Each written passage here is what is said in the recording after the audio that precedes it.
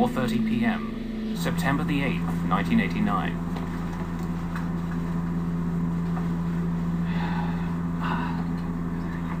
hang on, hang on.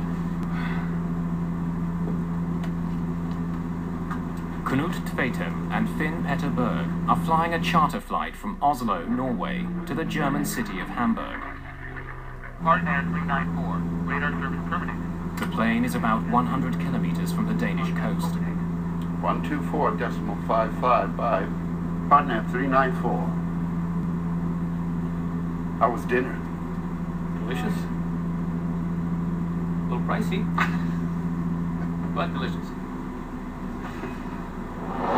The two friends have flown around the world together, including remote areas of Africa.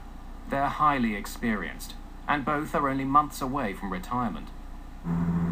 Copenhagen, good afternoon. Partnair 394. Partnair 394, good afternoon. Radar contact, Copenhagen Control. 394. The plane is flying 22,000 feet above the North Sea. The aircraft they're flying is a twin-prop Convair 340-580. It's a popular plane for short routes like this one. The plane has been chartered by the Norwegian shipping company Wilhelmsen. All 50 passengers are winners of a company lottery, sending them on a free trip to Hamburg to name a new ship. Some had maybe been to naming ceremonies before, but the naming ceremonies are quite uh, exciting. And the atmosphere was very, very, very good at the time of, of leaving. One of the company's best employees is chosen to give a speech at the christening of the ship in Hamburg.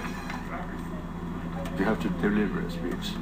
And it's not so very often that normal person within the company is giving the honor of naming a ship. But he also felt that that was right. As the Convair crosses the North Sea, a Norwegian Air Force F-16 approaches the plane on its way home.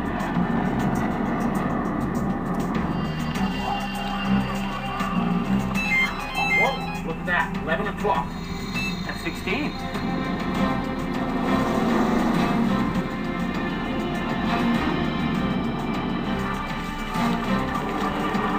Suddenly, the plane experiences a violent shock.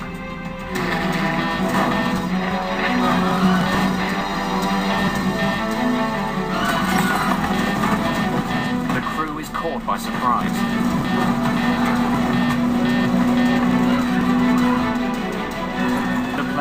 Rolling upside down.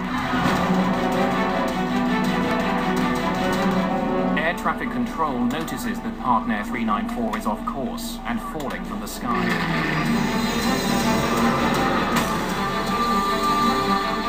Partnair 394, Copenhagen Control. Please report new flight level. The crew is struggling to save the plane and the lives of everyone on board. Flight level. Full up. Three. Full up. Please report new flight level. Then it disappears.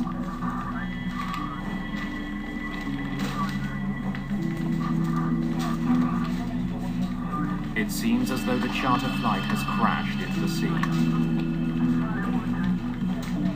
Partnair uh, 394 en route to Hamburg is off radar.